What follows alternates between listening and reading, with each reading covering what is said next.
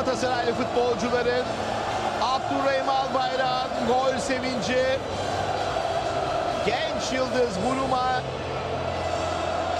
oyuna ikinci yarıda dahil olmuştu. Bir kişi eksik oynayan Galatasaray'ı bir kez daha öne taşıdı.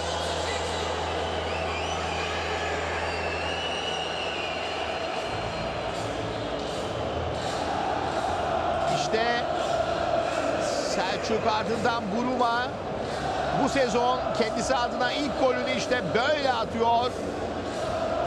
Buruma